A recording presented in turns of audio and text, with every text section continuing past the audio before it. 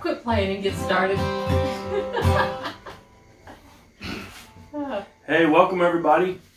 It's been uh, been one week, one week ago today, and here we were. Lots happened in one week. yep, Roger tried to kill himself. So, if you're here, you're probably friends on Facebook. So you probably know this, but there's probably some people that don't know this. So, one week's passed, and within that week, aye, aye, aye. Pray for my sanity. So, I'm. I walked outside. Here I am, minding my own business, just walking outside. Do it every day. Decided to walk to a little part of the yard where we we don't walk a whole lot over there because it's usually the sprinklers. They spray a little too much over there. It's usually slick, but whatever, no problem. I got It's, it. I'm yeah, just wait, did you catch that? Usually slick. usually yes. okay. It's But I'm always just gonna walk slick. by. Here I am, minding my own business. I'm gonna walk by, and uh, next thing you know, my feet slip, and here I am, parallel to the ground, but about I don't know, this far off the ground, parallel, heading down. I've had enough calculus to know that I'm accelerating at 9.8 meters per second squared, and it doesn't seem like very far, but that was enough. And he's not floating like a feather either. Oh no. um, so, man, I hit harder than I have Oh, my ever hit in my life. My head bounced, and No, it did not bounce. I heard it thud the from good inside news, the house. the good news is, I saw new birds flittering around. I saw Were they birds blue birds? I've never seen before going around. No, the good news is Levi was here. That's the good news. Yeah. So, yeah. So Levi and and Rhonda dragged me back in the house, and and uh, I mean, I'm. we ended up at the emergency room, and and it's I cracked my skull and did this, and so it's been. When was that? What day was It was, was that? Tuesday. All right. So we're. It's been about five days. yeah. And uh, I'm gonna live, but I'm. It's gonna take another few weeks just to get back to the how messed up I was before that day. So, aye aye aye, and so So if you thought my nerves might have been shot before that, with Raj being in the hospital, all that stuff, okay, they're really shot now. uh, man, so I got some real vertigo going on. I'm still dizzy, and of course I don't know how long it's gonna take for my elbow. But anyway, I was, you know, I was, I was saying, okay, what did I do? Why is this happening to me? What did I do? And I was, you know, more, you know, joking about it. Or, um, and a friend of mine, he said, well, I know what you did. He said, you keep singing that "Bring It On" song. and we had, we had just we sang it. it, Peter. We had just sang it. I'm all, okay, it's out there, bring it on. You know what? I'll bring it on. Okay, I'm not to sing that song anymore. We will not sing that song anymore in 2020. I get it. So if we do, I was thinking, well, maybe we could, you know, I sing the part, you know, the D, bring it on, and then Rhonda, whoever sings back, bring it on. So I think next time, if we do it, I find ourselves to want to do it again in 2020, I'm going to sing, bring it on, and they're going to sing, some exclusions may apply. One event per year. Some exclusions may apply. Aye, aye, aye. So if you don't know what we're talking about with this song, just Watch last week. scroll back and you'll see us singing "Bring It On," and uh, you'll get it. So I probably will not be singing that anymore in 2020. So just let me just coast. Mercy, just let me coast to the end of 2020. I don't want to have to bubble wrap. I don't want to have to wear a helmet. Well, Tristan and I have been talking about putting you in a home, so I don't want that. I, I'll try harder. Tristan's pushing hard. I, I bet. well, so with that, of course, you know, I'm. It's I even um, got such vertigo now and dizziness. It's hard to walk. So I've been sitting around. What does that mean? You know what it means. I've been sitting around thinking. And one of the things I was thinking about was just how I've never like felt like I fit in a box. You know, I was remembering even from the time I'm a kid, you know, on the farm and, you know, just farm kids do this. And we did. Except for me, I was a little different, you know. And, and I remember one time when I was about 16 and I had driven over to pick up a another farm guy. We were going to go do something. We got in a in my truck and I had a book in there and he he got in there and grabbed this book. What is this? I said it's poetry. And he's all poetry. like he was disgusted that I had a poetry book in there, you know. And he's like, "What? What? You know, that's Big old Poetry, Lala. you know, John Donne, Edgar Allan Poe, you know, and I listen, he's like, who's that? I'm like, well, the rest of the way, he, he opened it up, and he was just like reading stuff from it, all disgusted. And so, you know, it's like, farm boy, but, you know, I love, love poetry, and so it didn't quite fit in that box. And, um, you know, even now, it's like, well, look, he wears a cowboy hat, but yeah, he got long hair. Yeah, well, he's a cowboy, but yeah, much a hippie is that? So just never, never quite fit in a box. And and, and so then I got to thinking about Rhonda, and uh, Rhonda does not fit in a box either. And th- I enjoy people trying to put Rhonda into a box, and uh, I'll watch it come along, and here's Rhonda, and then they'll decide we're gonna put Rhonda in that blonde box. And I just step back. I'm gonna watch this see how this works out because you know the you know the whole blonde thing, and then of course Rhonda's probably the, the smartest woman I've ever been around, and so I like watching that unfold. But here's my favorite: when someone tries to put Rhonda in this box, it's like when they tell her something like, "Hey, hey, hey, let, let me do that." That's man's work. Okay, when that comes on, I don't just step to watch; I step back to watch. And if I had a quarter for every time I've seen that, and Rhonda's like, "Oh, bull," and then it's like, "Ay, ay, ay." So Mm. that's fun. Rhonda doesn't fit. Rhonda doesn't fit in a lot of boxes either, No. but you don't either. I mean, that's the thing. You know, we all kind of get. We end up in a box, and we just, you know, we didn't make it, so it never fits. And so I was thinking about that, and then I started thinking just in more in general, just about well, what boxes that I'm in. You know, I'm in a box at work. You know, that's a box. Does it fit me perfectly? No. Um, we're in a box at our church. Does that fit me perfectly? Mm. Nope. No. I mean, and I know that does fit some people. You know, oh no, this is perfect for me. I'm, I believe every single thing about this and this denomination and you know this particular church or whatever. I'm, I'm 100 percent. It's perfect, and I see that quite a bit. It's never been for me, and I don't think it's ever No, been for you either. So, so we're in all these boxes, and and this week, the reason I was thinking about this, you kind of feel boxed in, you know, and it's like, well, this doesn't fit me perfectly. And so I need to find another box. I need to leave this box that doesn't fit and go and find another box that fits me better. And that's kind of, I think, human nature. But remember now, this whole thing we've led up to here with however many weeks, we're trying to change the world. Okay? That's why we're sitting here talking. And so, with that in mind, you know, my thought was, well, I just need to get out of this box because this box has me boxed in, and I need to go find another box that fits me better, and that's a good plan. And then, and then this happened. So now that we've kind of been kind of home all the time, and you know we don't go out and shop a lot of stuff. So just just one minute ago, it's Sunday. The Amazon driver just already showed up on a Sunday, and dropped something off. I saw him outside the window. So we're gonna get it packages just about every day, and so we were. So all this stuff is going through my mind, and then I don't know. A couple of days ago, we get a, a little delivery of something, a little box of something, and so Rhonda takes it out, and, and then she does what she always does. As soon as she opens it up before the box goes to the recycling, she throws it on the floor so that the cats can get in it. And if you've got cats, you know, you put a box on the floor, that cat is going to get in that box. Doesn't matter how big it is, how Or small, it is, right. what size it is.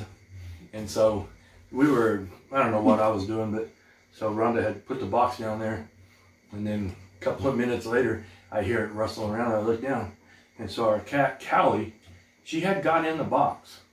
Okay, it was a square-ish box, and about this big. Our cat's about this big, but she managed to get in it. So she got in the box, and she turned this rectangle-ish box into a circle, and she was in it, and she was content. And then it dawned on me. That's the message right there. That's what she, okay, this is where it gets deep here. We're going to change the world, um, stay with me. the cat influenced the box far more than the box influenced the cat. The box didn't influence the cat at all. Callie got in there and made the box fit her. And I think that kind of hit home with me, you know, that we all do that. I need to go out, I need to leave and um, find a box that fits me. And like, well, maybe that's not the case. Maybe, now we're going to back up a few weeks. Remember when we talked about um, Esther, that everything in our life has led us to this moment. So maybe here we are. Everything has led us up to this moment. That we have all of these experiences and we're in this box, whether it's your work, your church, whatever, and now is the time to stay in that box and influence the box. Not leave, find another box that fits better. Maybe we are where we're supposed to be in this box that doesn't fit, and then we're going to influence the shape of the box. I hope that makes sense. It makes sense to me. If it doesn't make sense to you, I'm sorry. Go ahead and uh, call me or text me and we can talk about it more. But Well, can I put it in some different terms? please, please do. Outside of a cat in a box. okay, that's all I got. But yes, please. So the box is going to be the foundation, obviously. And you're not going to ch- change the foundation of things, but you can change the shape of how things happen. And, you know, I've seen many times where people leave a church because that church doesn't fit them perfectly. And I think God plants you where you are for a purpose. And sometimes you need to ch- change the shape of that church instead of saying, there's a problem at this church and I'm going to be part of the problem, so I'm going to leave. But I'm saying, and you're saying, don't be part of the problem and leave, but be part of the solution and stay. And if you can help change the problem that you see, I think we're all going to be able to be a lot better off, and your church is going to grow because you've decided to stay mm-hmm. and make it something different than what it is. We all go to a place for a purpose. But if we leave because the church doesn't conform to what we think it should be, then the church is never going to be what it's supposed to be. So I'm saying stay at your church and make the changes that need to be changed. So therefore, your box is your foundation, but it does not have to be a square. It can be a circle, it can be a rectangle, it can be a hexagon, and you need to help shape the box. That's good, right there. That's that's what I was talking about. I was thinking about a cat in a box, but really I was talking about that right there. So, well, thank you. And so that so you know, uh, um, maybe think about. I know everybody's heard this, but you know, we're all we're always quick to. This church doesn't fit me. I'm out. I'm leaving. Yeah. You know, they they sang this song. I don't sing that kind of song. I'm out. You know, they did this. So I'm gonna go find another church. And, and so it reminds me of, of this story. It's kind of a joke, but I'm sure you've heard it, but maybe some people haven't. But anyway, as a guy um, ended up shipwrecked on some you know deserted island, and he's out there for 25 years by himself, and then finally he gets rescued, and the people show up, and you know they're talking to him. You know he's got the long beard, you know all this typical stuff. And, they said, when they point over, what's that? And it's kind of a shack.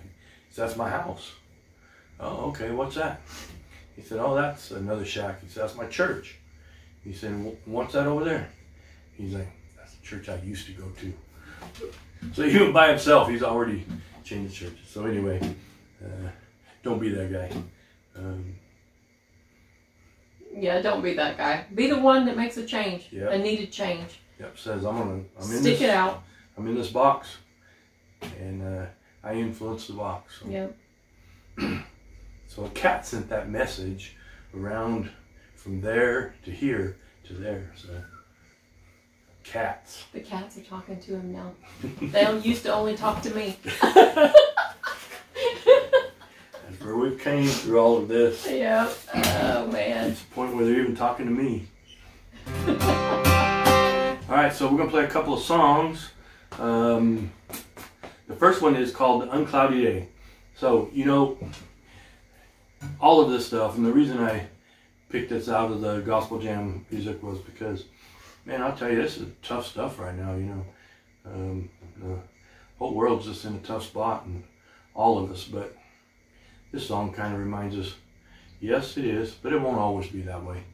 And uh, the whole, everything about this song is uh, someday, you know, we're going to be in that.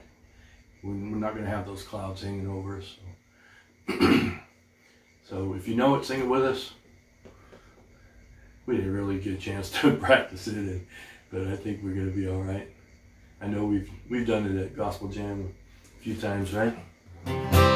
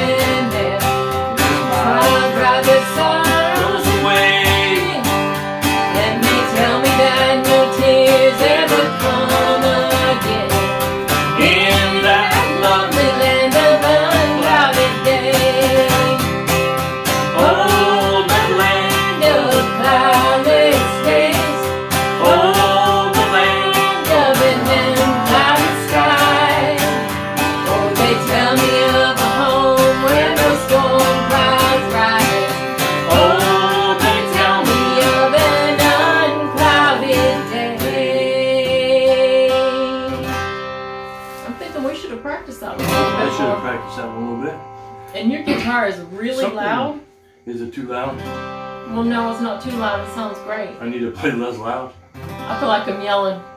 They're probably thinking, dang, she's yelling. What do you want to do it again? No, the D didn't sound right though. All right, well. I think it was all right. Let's try the next one and see if it's any better. all right. So And then if it's not, it's going to be take 563. I'm not up for it. Not this week. So. So our friend Kenny usually sings this song. It's another one that we do at Gospel Jam. We haven't done it for a really long time, but it's a David Crowder song, Jesus Lead Me to Your Healing Waters. We would love to have Kenny here singing with us. And all of the instruments, the mandolin, the violin, Rod doing the shaker and the cajon. Yeah, Peter on the bass, Kenny doing some some licks on his guitar and Yep. Terry too, and then all the backup harmonies as well. boy, this would just be a great song with all everybody from Gospel Jam. But you got us. So, So- This morning we, um, I went and got the the percussion bag, which is what Rod does, and I realized how much I lean on Rod during all the stuff. And he never gets any credit, but man, you know what the percussion brings to these songs. We had the shaker, and we're kind of messing around with it, and and uh, I remember when the first time I met Rod, that he was he was Christina's boyfriend, and Rhonda told me, hey, that's Christina's boyfriend over there. You need to go over there and introduce yourself. I said, I'm not gonna go over there and introduce myself. And she said, it's Christina's boyfriend. You need to go introduce yourself. Yeah. Okay. So I went over there and hey, I'm Raj. And know, oh hey, I'm Rod. And then he said, I'm a percussionist. I was like, what? I didn't know what it was. But it didn't sound like something you need to be like telling people about yourself, you know. I'm like, oh. So found out later that, you know, it's the tapping on stuff and doing stuff and timing. And so he's been the percussionist for the gospel jam for a long time. So, so anyway, uh, Poor Rod. yeah, but I was kind of percussionist. anyway, hey Rod, I know you're watching this. I, I miss you and, You're dumb. and appreciate you. So. All right, we're gonna try it. We're gonna try it.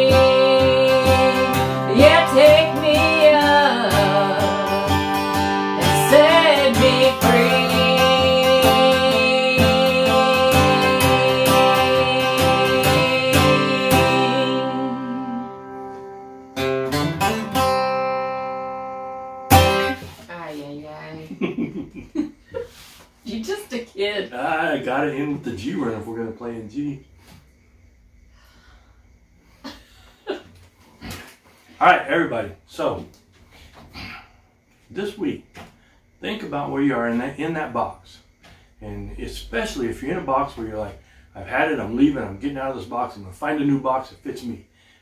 Just at least think it through. Take the message from the cat. Don't conform to the box, but help the box conform You're to gonna other in- things. yes, you will influence the box. So. Yep. Stick it out. Change the world. Use everything you've ever, your whole life experience got you to this. You're in the box and see what you can do. Yeah, you Stick bring something and- special. Yeah. Oh, that- yeah. That's the thing right there. That's the bottom Well, line. we've been talking about this for weeks about how we can take the gifts that we have and and change the world, and this is another way. You're going to influence that box with the special things that you bring to it. So don't be afraid to do it, and don't leave the box. no. God has planted you there for a reason. Yeah. There's a cat. So there's another cat. Cat's talking to us. No, What's she saying? Because I don't know. I don't speak cat. All right, everybody. So, see you next week. Maybe Have a good week. between now and then, I'm, I'm, I'm gonna be good. I will not get worse. Okay. All right. Love you guys. Bye. See you next week.